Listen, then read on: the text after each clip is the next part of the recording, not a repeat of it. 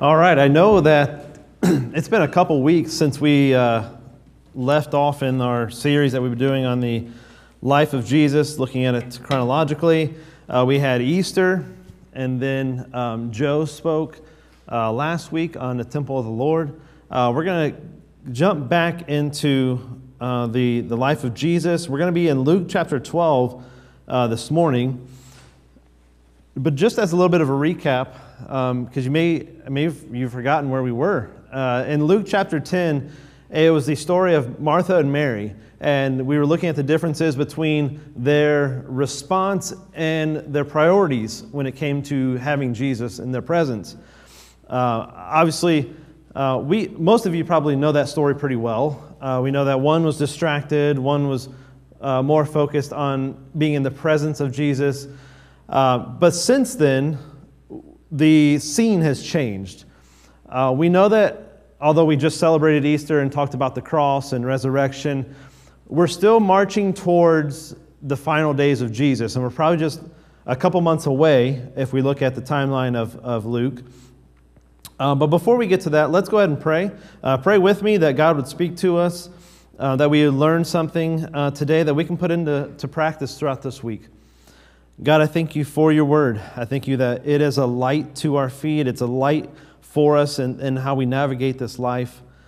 And I thank you that uh, we can look to these, these passages, and, and, God, you have something to say to us today and how we can apply that to our, our lives throughout the week and even today. Uh, I pray this morning that you would speak through me, uh, get me out of the way, and that your message would um, talk to the hearts of your people. I pray this in Jesus' name. Amen. So, like I said, the scene has changed. Instead of a more intimate setting with few people, we're now at a point where um, Jesus is preaching. And actually, uh, the passage that I'm, I'm, pulling from this morning is really Jesus' sermon. So it's a little bit of plagiarism on my part uh, to take out of Luke and basically preach Jesus' sermon.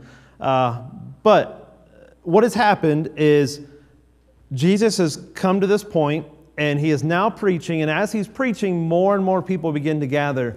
Uh, this would be like if, I, I, don't know who to compare him to anymore, but if Billy Graham was still alive, if uh, Billy Graham was still traveling, it would be like a figure like that coming to our church. It would pull crowds in that we don't normally have. So, even more than Billy Graham, we're talking about Jesus who is preaching, and, and now there's so many people, and obviously he doesn't have a sound system to work with. Uh, they're basically climbing over each other to hear what Jesus has to say. And that is the scene that we have right now. And that's important because there comes a point where Peter uh, has a question about uh, the context of what Jesus is saying. So let's go ahead and read uh, Luke chapter 12. And uh, we, we're in Luke chapter 10 when Sam last preached. And if you'd like, please do. You can read through um, 10 so Martha and Mary is chapter 10, verse 38 is where it starts. Now we're going to jump forward to Luke chapter 12, but please read the in between of those things. There's lots of good things um, to look at, and there's lots of things you're probably a little bit familiar with already. For example, in 11, there's the Lord's Prayer. Uh, and then also we see um, the sign of Jonah, the light in you, the woe to Pharisees and lawyers. And, and then in the beginning of chapter 12, he talks about having no fear, um, acknowledging Christ before men, and the parable of the rich fool, and also has a little bit something to say about anxiousness. So there's lots of good stuff to look at between where Sam left off and where I'm picking up. And I want to give you a little bit of background of how I've come up with this passage in particular. So when we look at our sermons, um, actually the sermon calendar, a lot of the topics that were in between 10 and 12 we've covered already at some point during this, this sermon series. But there's th- something in particular that stood out to me in verse 35, and I'll go ahead and start reading. Uh, it says, Stay dressed for action and keep your lamps burning. And I read that verse at 35, and I had to stop, and like, that's, that's what I need to focus on personally, and that's what I feel like is something God wants to share with his people. So let's go on to uh, verse 40. We're starting at 36, I just left off. It says, Be like men who are waiting for their master to come home from the wedding feast, that they may open the door to him at once when he comes and knocks. Blessed are those servants whom the master finds awake when he comes. Truly I say to you, he will dress himself for service and have them reclined at the table, and he will come and serve them. This is actually Jesus talking about um, when he be, will become the servant. Uh, if he comes in the second watch or in the third and finds them awake. Now, when they would tell time at this point, the second and third watch, we're talking about Jesus saying, if the master comes in the middle of the night, if the, if the master comes um, towards the end of the night into the early morning, um, blessed are those servants that he would find awake. So the, these servants that he's talking about are ready and waiting even into the, the late hours of the night, early morning. But know this that if the master of the house had known at what hour the thief was coming, he would not have left his house to be broken into. You also must be ready, for the Son of Man is coming at an hour you do not expect. Before we get into uh, verse 35, this is um, a little bit off topic, but uh, one of the videos that Sam and I recorded recently had to do with the rapture, when the church will be raptured up. Um, there's arguments for before the tribulation, maybe in the middle of the seven year tribulation, or after the tribulation. I think that this verse sums up everything uh, about what we discussed, and, and we can discuss those things, we can disagree about them, that's fine. The most important thing is no matter when Jesus comes back, we are ready. And that's what the point of this uh, passage is. So let's look at verse 35. Now, I grew up in a King James only church. Any other version, and you were reading a perverted uh, translation. Now, I'm preaching out of the ESV this morning, but I like the KJV still. And the way this is worded in here, and uh, Luke, I don't have the remote, so you might have to skip forward. Um, but the first slide here is being ready for service. And that's what the first part of verse 35 says. If you're reading the King James, it would say this Let your loins be girded, or gird your loins. And you would be, and Preston's looking at me like, what in the world is girding your loins have to do with anything? And I understand that. We don't talk like that. Um, if any of you like grilling or smoking things, when I think of loins, I think of like pork tenderloin, uh, maybe um, tenderloin, beef tenderloin. Those are delicious. Has nothing to do with King James uh, translation. Loins be girded. So, uh, I never thought I would say those words in a sermon, uh, but here we are. And I don't know if you can see this picture, but this is an example of what it meant. So, the dress at that time, they didn't have uh, athletic shorts, they didn't have uh, the attire that we have today. So, if, if we know we're going to battle, obviously our servicemen and women have the correct attire for that purpose and they can go into battle. If we know we're going to do um, some heavy labor, um, you know, maybe uh, you'd be gardening or something, you have the attire to do it. Basically, they had tunics and then they would customize how they wore them based on what was uh, at hand. Now, the, the word gird up your loins, it basically would mean that you were, you're doing heavy, heavy labor, going into battle, or you needed to run for some reason. Uh, I don't like running, but basically, what they would do is they would lift up their tunics, tie them around their waist, and convert them into a pair of shorts. Now you guys can leave with that much information. It's important though, because if we talk about our spirituality and what they're doing, that's why it's important to know what Jesus is talking about. Um, and then the other thing is Proverbs 31. We know that that chapter is specifically directed um, or applicable to women. And I don't know if you know this, but in Proverbs 31, let me find this real quick. I'll go ahead and read it. Uh, Proverbs 31, 17. And this, this will sound very familiar to what I just read. She dresses herself with strength and makes her arms strong. So, if you were wondering if this message was just going to be a, uh, another men's Bible study, it does apply to women as well um, because it, this has to do with our spiritual battle. Um, and then, just like Proverbs 31, that can be translated as well uh, about girding up your loins. All right, so be ready and serving while we wait. And we can move on to this next part of that. Actually, let me give you a little bit of illustration to, to kind of bring this home about being ready, being ready for service. I believe that God has given each and every one of you a purpose, and, and you were born to the parents you had. You were living in the city you were. You went to the school you went to. Um, you married your spouse. You were in the career. Everything was very specific. I think God is a God of details. And you guys will reach people that I won't reach. You'll be in contact with people I'll never meet. So it's very important that we all understand that we're, we're vital to the mission of God. Um, we all have something to do. That, that's kind of the point, is that we are all uniquely made and uniquely positioned to do something that God has um, for us, that He's already prepared for us, for us to do. Now, I also think that there's sometimes we're not just careers, but if we start getting into like some smaller details, He can use our hobbies as well. But I want to talk to you a little illustration of my failures of being ready for when the master would come home. Uh, my mom during the summer would leave my sister and I a chore list. Do you guys have any chore lists? Any chore lists when you stay home? Nobody? All right. When I would stay home, my mom would leave a list and said, You have to have this finished before I get home. Sometimes it was doing the dishes, sometimes it was folding laundry, dusting, uh, vacuuming. And I don't know, Preston, I don't know about you and Logan. You guys probably don't procrastinate. You do everything right as you're supposed to as soon as you wake up, right? I was bad at that. Here's what would happen. My mom would get home about 3:30. About 3 o'clock rolled around, and guess who was just starting to look at the list to see what needed to be done?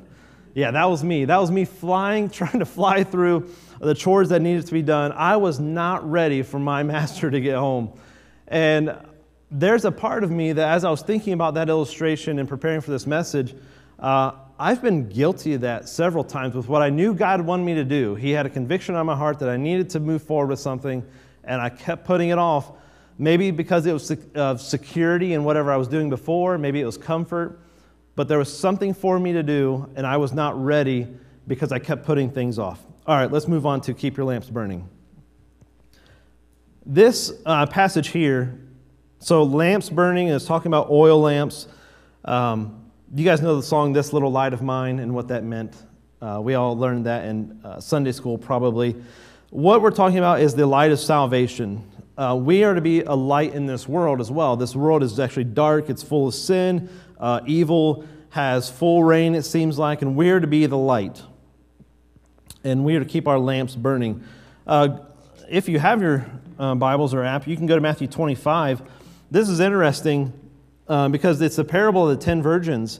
And I'm going to go ahead and read this to you because this is a tough passage to, passage to read, especially if you're someone who may be guilty of uh, just coming to church or maybe professing Christianity, but you struggle or maybe even never had a close relationship with Jesus.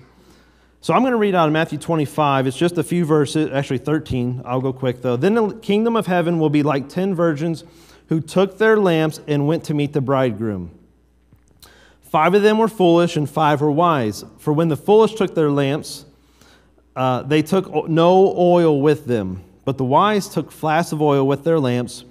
As the bridegroom was delayed, they all became drowsy and slept. But at midnight there was a cry, Here is the bridegroom, come out to meet him. Then all those virgins rose and trimmed their lamps, and the foolish said to the wise, uh, Give us some of your oil, for our lamps are going out. But the wise answered, saying, Since there will be not enough for us and you, go to the dealers and buy yourselves, buy for yourselves.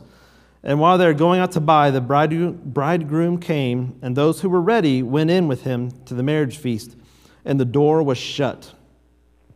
Afterward, the other virgins came also saying, Lord, Lord, open to us. But he answered, Truly I say to you, I do not know you. Watch therefore, you know neither the day nor the hour. Now, that passage in particular, and even what we're looking at here about keeping your lamps burning, this is for the Christian. Now, Matthew 25, these girls served a function. So, the purpose of these, these virgins having a lamp for the in the first place is that they could light the way. And without a lamp that could burn, without the oil as um, the source of the burning, and oil is basically having the Holy Spirit. If you, if you look at Scripture, oil a lot of times goes back to the Holy Spirit. Um, they didn't have it, they didn't have the oil. Um, so basically, a, a, the girl without the oil served no purpose and was not part of the kingdom. Do you have the light of salvation? And that's something that we need to discuss because you need to be spiritually prepared for the bridegroom. Bridegroom being Jesus, uh, the bride is the church. Are you spiritually prepared for his return? And do you have the light of salvation? All right, so we looked at the uh, being ready for service and keeping your lamps burning. Um, now we're going to go to verse 36.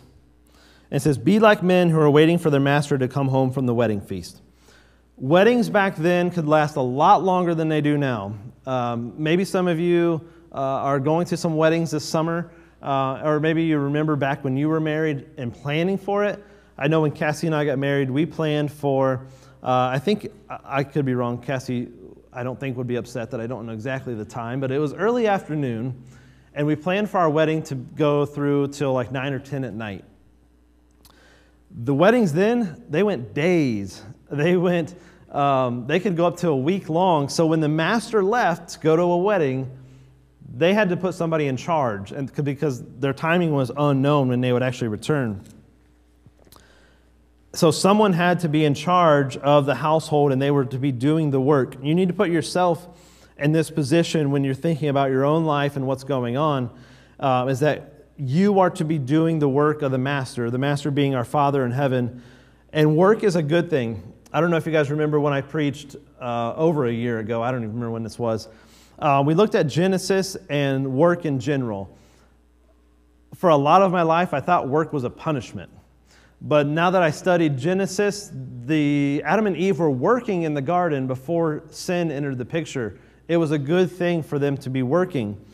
Uh, and I, I think my, my opinion would be that even when we get to heaven, there's a chance that we may, we may have the opportunity to do work because work is good. It's not a punishment. Um, and then I already went over like each one of you are uniquely crafted and created to do a certain thing. Um, last week, when Joe spoke about um, how we, how we uh, approach church, how we approach our spiritual life, how it's supposed to have reverence and awe. Um, I remember, I don't know when this clicked finally in my head, but for a long time I thought be, coming to church is when I could be in the presence of God. But that's not true because when we become a Christian, Jesus did that for us. We can now enter the presence of God anytime we want to. We actually have the Holy Spirit within us. That should change the way we live. God should be a part of everything that we do. Even the nerdy things that I do, uh, God has been able to work through those. I'll give you an example. Um, besides a few people, a few guys in this church that can uh, talk to me about big time wrestling, there's one other thing that's a little bit nerdy that I do that God has used in the past, and that's remote control cars. So, growing up, I always enjoyed playing with remote control cars, the, the cheap ones that we would get from the store. Uh, or I think there was one time we went to Cedar Point and they had remote control boats there as well. It was always fun to me to play with remote control cars. So when I became an adult and could spend the money on a nice one, we did that. Uh, actually, my dad and I uh, both have trucks that we, we, we like to race. We don't get to do it too often, but I'll give you an example of what happened. There was a guy who used to live, uh, he was a neighbor of the church here, and he showed up out of nowhere uh, pulled into the parking lot.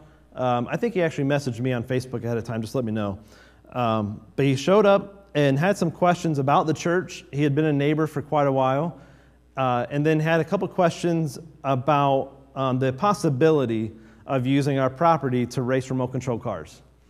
So obviously, when I heard that, I, I, lit up immediately, like, oh, like, tell me more about that. Like, what do you do? Um, he probably had no idea that I was just as knowledgeable as he probably was about what what he was doing. So it struck up a conversation, and we, got, we come to find out we knew a few of the same people, and we, we gave them permission to you know, race their our cars out in the parking lot. And that conversation then led to him showing up throughout the week when I was here, and we would pray together. Uh, he had some health issues, and he, I think at times, was scared. Um, scared of, there were some pretty severe things that could happen with his health. But he came over here. The little conversation we had about RC cars uh, led to a friendship, which then led to the man um, seeking out prayer uh, from, from not, not that I'm anything special, but someone he knew, uh, that he knew that would pray for him. And then also, it was so cool because we would then have conversations about his past with experience with church. And uh, I don't know if you remember, even back in the summer, he then began to attend our outdoor services. Um, but it all started with a conversation about remote control cars. Long story short, short um, is that I think God can use every unique detail about you. Obviously, I don't know every single thing about each one of you, but there's something I think that you can think of right now that if you dedicated it to God, you said, God, use this, uh, whatever this thing is, and I promise you, He will come through with whatever that is. It's been my experience several ways um, that that's been the case. All right, let's, let's quickly look at um, the faithful and unfaithful servant, because uh, that is our final two points here. And you need to remember that Jesus is in a large crowd. It's very important because he's going to give an illustration or a parable about everyone. And then Peter actually says this in verse 41. He, he kind of interrupts Jesus' speaking because he's getting confused. And he says, Peter says, Jesus, um, I, are you speaking to us, like the disciples, or are you speaking to everyone? Because there's thousands of people here. And he's getting really specific about what's going on. Peter's confused. I love Peter because he's always, he's always honest and real. So he's, he's asking a question because he's like, I don't know what's going on. Who are you talking to? And, and Jesus responds with this, and it's verse 42 to 46. Who then is the faithful and wise manager whom his master will set over his household to give them their portion of food at the proper time? Blessed is that servant whom his master will find doing when he comes. Truly I say to you, he will set him over all his possessions. But if that servant says to himself, My master is delayed in coming, and begins to beat the male and female servants, and to eat and get drunk, the master of that servant will come on a day when he does not expect him, and an hour he does not know and it gets a little graphic. It says, I'll cut him into pieces and put him with the unfaithful. This encompasses everyone. So Peter's question of, who are you talking to? Jesus answer, Jesus doesn't give an answer of, I'm talking to this person, this person, this person.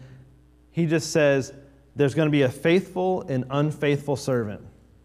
And that encompasses everyone. So everyone here this morning will fall within those two categories. We are either faithful or we are not. So, what is the faithful servant? So, the next slide here gives us some details on what is a faithful servant. Uh, first and foremost, is it someone who has responded correctly to salvation.